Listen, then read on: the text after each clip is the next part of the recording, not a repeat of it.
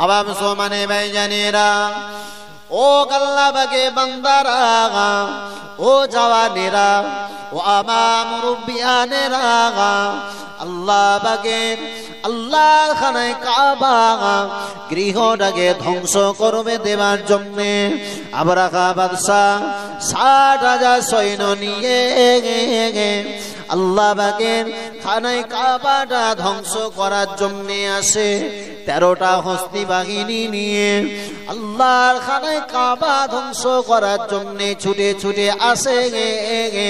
কাবা শরীফের নিকটবর্তী হওয়ার আগে মিনা এবং মুস্তালিফার মধ্যবর্তী জায়গাতে আল্লাহ পাকে খানায় কাবা ধ্বংস করার জন্যে আবরাগা বাদশাহ ওই জায়গাতে খাঁটি কাল্ল যে কোনো মূল্যে হোক না কেন, আর করাইশদের সঙ্গে যে কোনো একটা বিবাহ লাগিয়ে দিতে হবে। এই চিন্তা ভাবনা করে বাদশাহ আল্লাহ নবী দাদা আব্দুল মুতালিমের আব্দুল মুত্তালিবের আর দু শত উট তারা লুকিয়ে চুরিয়ে। আব্দুল মুত্তালিবের দু শত উট চুরি করে আবরাখা বাদশাহ নিজের হস্তবিদ্ধ করে নিয়েছে। তার দখলে যখন এসে গেল, এ সংবাদটা পৌঁছে গেল আব্দুল মুত্তালিবের নিকটে পৌঁছে গেল। আব্দুল মুত্তালিব ছুটে ছুটে ছুটে ছুটে গেছে, গে গে। আবরাখা বাদশাহ নিকটে আসলো। আবরাখা বাদশাহকে ডেকে বলল তোমার সৈন্য সাবন্তরা আমার উটগুলো ধরে নিয়ে এসেছে। ওদেরকে আমার উটগুলোকে ছাড়িয়ে দিতে বলো। আল্লাহ বাগের বান্দা। আব্দুল মুত্তালিব কথাটা বলবার সাথে সাথে আবরাখা বাদশাহ আব্দুল মুত্তালিবকে ডেকে বললে ও আব্দুল মুত্তালিব, আমি মনে মনে করেছিলাম, তুমি আমার নিকটে এসেছ।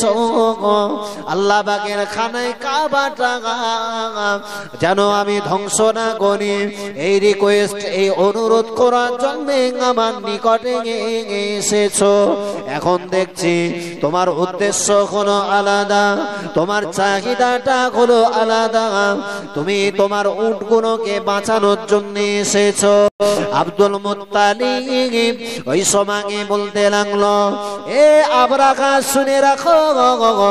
আমি আমার উটগুলোকে নিতে এসেছি। কেন না ওই উটগুলোর মালিক হলাম আমি। আমার উটের মালিক যখন আমি ওই উটগুলোর রক্ষণাবেক্ষণের দায়িত্বটা আব্দুল মুত্তালিবের।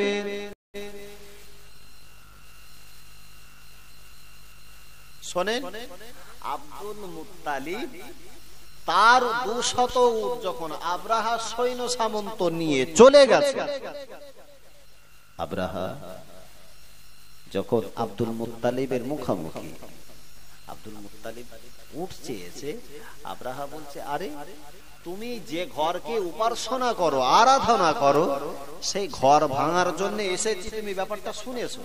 আর শুনে তুমি নিজের উট বাঁচানোর জন্য আমার কাছে এসেছ। আমি তো মনে করেছিলাম, তুমি যেন কানায় কাবা, আমি যেন ধ্বংস না করি, সেই অনুরোধটা আমার কাছে করার জন্য এসেছ। কিন্তু দেখছি সম্পূর্ণ তো আলাদা। আব্দুল মুত্তালিব বলল, আরে, উঠের মালিক আমি। এই জন্য আমার উঠ আমি চাই এসেছি আল্লাহ পাকের খানায় কাবা গৃহ যখন আল্লাহ, ওই আল্লাহর খানায় কাবা গৃহটা রক্ষা করার দায়িত্বটাও আমার আল্লাহর। জোরে বলেন সুবাহান ওটা আমার কোন রকম ইচ্ছা বা চাহিদা নাই। আল্লাহর ঘর আল্লাহ নিজেই রক্ষা করবে। ও আল্লাহ বাকে বান্দারা, ও জওয়ান যুবকেরা সোনা মানিকেরা ও গামা মা বোনেরা, গা আল্লাহ বাগের বান্দা, গা আব্দুল মুত্তালিব ছুটে ছুটে নিজের দু শত উট নিয়ে আল্লাহ বাগের খানায় কাবার নিকটে চলে গেল। আল্লাহর খানায় কাবার নিকটে আসবার পরে উট গুলাকে নিজের বাড়িতে রেখে আল্লাহ বাগের খানায় কাবা শরীফে তারো আজার গোড়ায় দাঁড়িয়ে আল্লাহর কাছে দুটো হাত তুলে দোয়া চাইতে লাগল। ও রব্বুল আলামিন আল্লাহ পাক আল্লাহ আপনার ঘর খানায় কাবাটা ধ্বংস করে দেওয়ার জন্য ষাট হাজার অবস্থান করে আছে। আল্লাহ এ ঘরটাকে উদ্দেশ্য করে আল্লাহ। এ আপনি ধ্বংস করবেন না। আল্লাহ আপনার কাছে কাকুতি মিনতি করে দোয়া চায় রব্বুল আলামিন আল্লাহ পাক, আপনার ঘরটাকে আপনি রক্ষা করে আল্লাহ পাক, আল্লাহ তাআলা আব্দুল মুত্তালিবের দোয়াটা কবুল করলেন। ওই সময়ে আব্দুল মুত্তালিব আল্লাহ পাকের খানায় কাবা শরীফের দরওয়াজার গোড়াতে শুয়ে পড়ল। পরের দিন সকালবেলা আব্দুল মুত্তালিব আর ঘুম থেকে যখন উঠলেন, অপরদিকে আবার আগা বাদশাহ ঘুম থেকে উঠবার পরে আল্লাহ বাগের খানায় কাবাটা ধ্বংস করে দেওয়ার জন্য তার হস্তি বাঘিনীকে আদেশ করল, চল চল, ছুটে চল। আল্লাহ বাগের খানায় কাবাটা ধ্বংস করার জন্য ছুটে চল।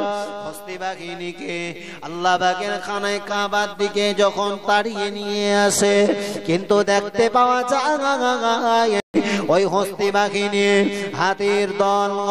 আল্লাহ বাগের খানায় কাবার দিকে একটা কদম যখন বাড়িয়ে দেয়, আবার তারা নিজ স্থানে শুয়ে পড়ে, নিজের জায়গাতে বসে পড়ে। এত মারধর করে হস্তি বাহিনীকে। হাতিদেরকে প্রকার করতে শুরু করল আবরাহার সৈন্য, সাবন্ত কিন্তু না না না আল্লাহ বাগের খানায় কাবার দিকে ছুটে যায় না। এ দৃশ্য দৃশ্যখানা যখন আবরাহা বারে বারে লক্ষ্য করে, আবরাহা বাদশাহ দীর্ঘক্ষণ ধরে চেষ্টা চালানোর পরে হলো না।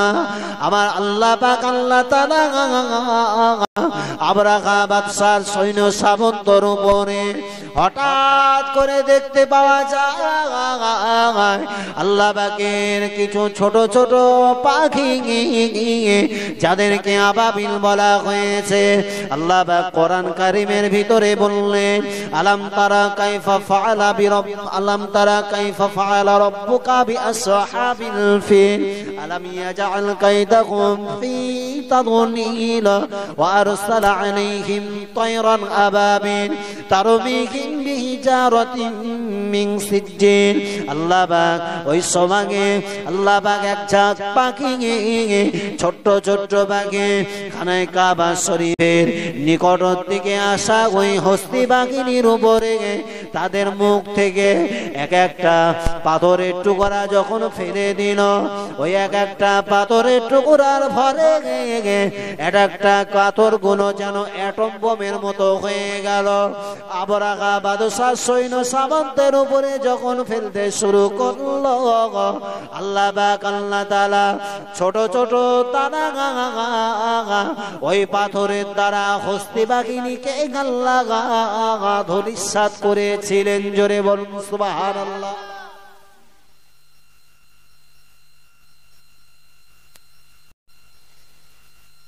কোন কোন ঐতিহাসিক কারকগণ যে আবরাহা বাদশাহ তার উপরে আবাবিল বা ওই দলে দলে ঝাঁকে ঝাঁকে যে পাখিগুলো এসছিল, পাখির মুখে আর কতটা ওয়েটের পাথর থাকতে পারে? তফসির কারকবান বলেছে, সেই পাথরের পরিমাণটা হলেও খুব বেশি বেশি মুসুরির ডালের নেয় একটাবার ভাপা যায় মুসুরির ডাল দ্বারা, যখন ওই পাথরগুলো নিক্ষেপ করতে শুরু করল এক একটা পাথরগুলো যেন অ্যাটম বোমের মতো আব্রাহা বাদশার হস্তি বাহিনীর উপরে পড়ল। আল্লাহ পাক আল্লাহ তালা তাদেরকে ওই ছোট্ট ছোট্ট ক্ষুদ্র ক্ষুদ্র পাথরের টুকরা দ্বারা আব্রাহা বাদশার হস্তি বাহিনীকে এমন ভাবে আল্লাহ ধুলিসাত করে দিয়েছে, যেগুলো আপনার ভক্ষিত তৃণভূমির ন্যায় হয়ে গেল। মানে যখন গরু কিংবা ছাগল কোনো ঘাস খায়, খাবার পরে সেটা যখন পেটে চলে যায় আমরা গরু কিংবা ছাগল যখন জবেহ করি, সেই জবেহ করার পরে যখন তার আপনার নাড়ি গুলোকে আলাদা করা হয়, আলাদা করবার পরে নাড়ি ভুড়ি থেকে যেরকম ভক্ষিত আপনার ভক্ষণ করা, খেয়ে ফেলা ঘাসগুলোর অবস্থা যেমন হয় আব্রাহা বাদশাহ সৈন্য সামন্তদের অবস্থাটাও ঠিক তেমন হয়েছে। আল্লাহ চাইলে বান্দাকে বাঁচাতে পারে। আল্লাহ চাইলে বান্দাকে মারতে পারে। দুনিয়ার মানুষ শত প্রচেষ্টা করেও দুনিয়ার মানুষ কাউকে কোনো ক্ষতি করতে পারে না, যতক্ষণ না আমার আল্লাহ তাকে ক্ষতি না করতে চায়।